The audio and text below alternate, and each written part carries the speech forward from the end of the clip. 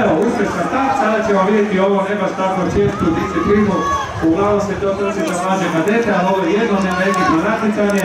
E, Trkači će sad e, se slažu u u kojima su startali, dakle mladost e, Međimurje Zagreb, Dinamo, Agran i Sloboda.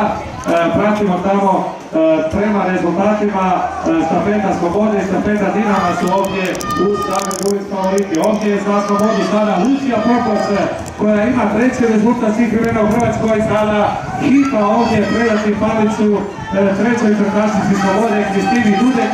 Ulic je na drugom mjestu, Ulic Zagreb Lončare Kolarva i sada trebaju trčati Vojnović i Jurić.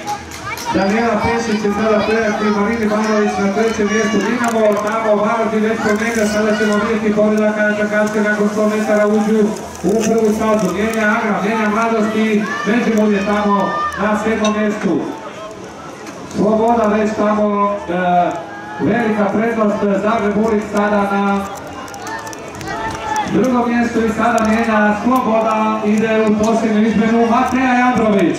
Pratimo sada semafor, 1.42.7 je, moram malo suce da se pomaknu hrvatski rekord unazad, 1.42.7 je hrvatski rekord. Jandrović ovdje, da li će to biti novi hrvatski rekord? Biće!